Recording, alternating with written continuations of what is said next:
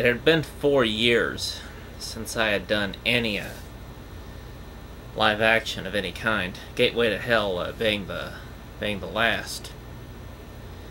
This was the, uh, the first time that we would go back and uh, actually do anything uh, this big,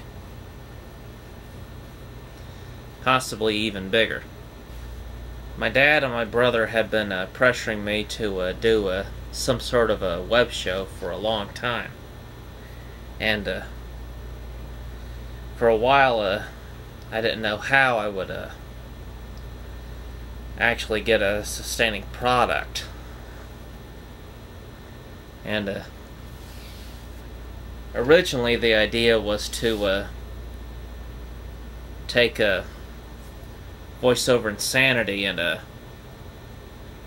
make a, a web series uh, based around that, like uh, the idea that you've uh, like someone in Hollywood made a movie and uh, now they're making a television series that uh, that continues that movie. kind of like how uh, Big Fat Greek Wedding turned into a short-lived TV series, Big Fat Greek Life. After the release of of Gateway to Hell, there were already uh, coming up uh, about two, actually uh, two uh, successful uh, web series. One is uh, Red versus Blue, which uses uh, gameplay footage uh, from the from the Halo games on the Xbox, and the other is uh, the Guild, which is uh, a game uh, based around uh, a group of friends that uh, that play uh, an MMO based uh, video game. Those two shows were uh, were unique, but uh, I decided that mine would uh, be a uh, have a little bit more research into uh, what uh, people actually watch on uh, on these sites like YouTube.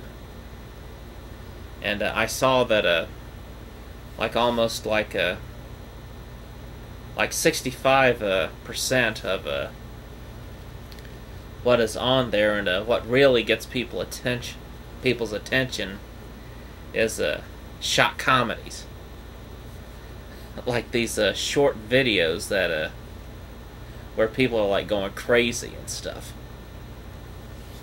So uh,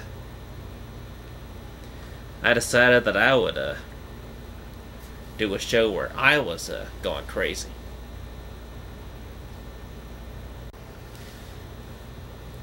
Well, uh,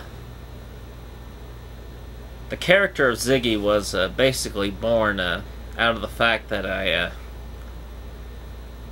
I uh, liked uh, fireworks. Uh, always uh, enjoyed uh, the Fourth of July, New Year's Eve, and uh, plus uh, I know that I could. Uh, plus, I knew that I had a a lot of old friends out there from junior high and high school who always wanted me to do a bunch of crazy things for a laugh because they would always make fun of me for doing it.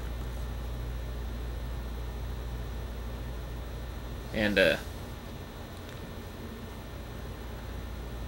I wanted to combine a, a segment in uh, Jackass the movie. Bam Margera wakes up his uh, parents in the middle of the night with the with the fireworks and uh you know like Bam uh, is always one of the crazy ones. He's always like uh doing these things to his uh, parents and uh just thinking to myself, I would have to uh, have like a like a really crazy character like that in order to really uh, garner some attention.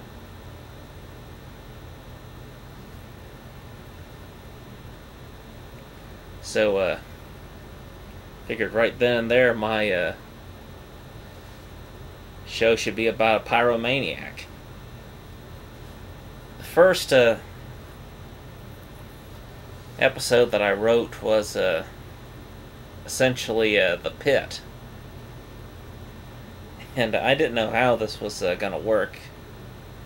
Essentially, the idea was uh, I dig like a, a small hole in the ground, put some uh, firecrackers in uh, in this hole, and uh, douse them with uh, with a lighter fluid and uh, set them on fire, and uh, they're supposed to go off all at once. And as the fire is burning, I I put the fire, I put the lighter fluid, the can, right between my legs and uh, start squirting more of lighter fluid onto this fire like I'm like I'm urinating on it, and uh, that was uh, pretty much uh, because uh, I told Andy that uh, about the the character and uh, and what he did, what he did, and that once he uh, read that uh, once he uh, saw a safety test and uh, and read the script, he was sold on it. I'm pretty sure uh, all of you have uh, been watching the uh, show so far. I'm pretty sure you've uh, pretty sure you're enjoying it by now. I hope you uh, continue to uh, watch it and uh, tune in uh, this Friday as uh, we uh, premiere the new episode. And I'll see you there, man.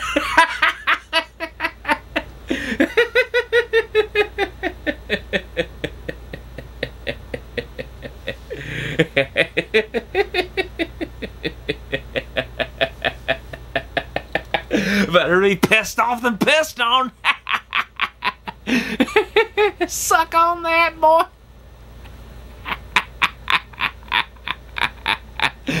I know the ladies love me.